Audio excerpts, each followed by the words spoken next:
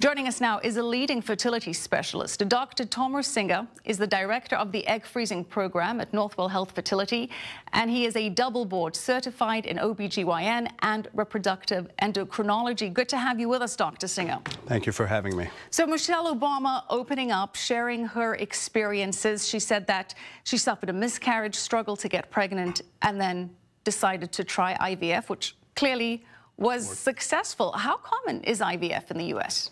So IVF is very common since uh, 1978 when the first IVF was introduced in London. Um, nowadays, over 25 million women have uh, used the fertility treatment called IVF.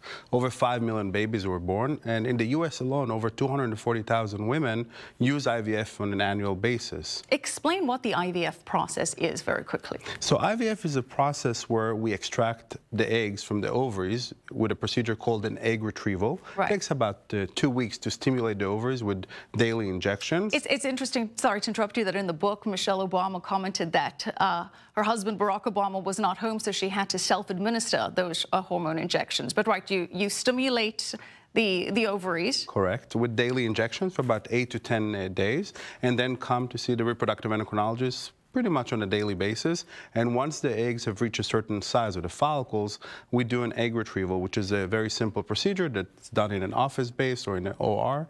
And then we retrieve the eggs, and within two to four hours, we fertilize it with the husband or partner sperm, create embryos, and then traditionally put it back into the womb three to five days later. And how has IVF technology advanced or changed since uh, Michelle Obama used it, what, 20 years ago? So several things have uh, really uh, changed the success rate. One of the things that uh, really revolutionized the success rate was the implementation of pre-implantation genetic screening. This is a technique that was introduced for the first time in 1993, and it involves taking a biopsy from the embryo at the day five stage and analyzing the embryo before putting it back into the uterus. That reduces the risk of miscarriage because you're putting a single normal embryo. So what would you be screening for using this process? So you screen for the 23 chromosomes to make sure that there's no risk for chromosomal abnormalities such as Down syndrome. You know that the embryo is a male or a female by testing the chromosome because you know the X and the Y chromosome. And you reduce significantly the risk of miscarriage by at least 50 to 60 percent. So for argument's sake, if you have uh, two embryos and you know the sex of each, you can mm -hmm determine whether you want to have the female or the male embryo implanted? Correct. You have that information, and if everything else being equal and both embryos are equally uh, good, we can transfer one or the other.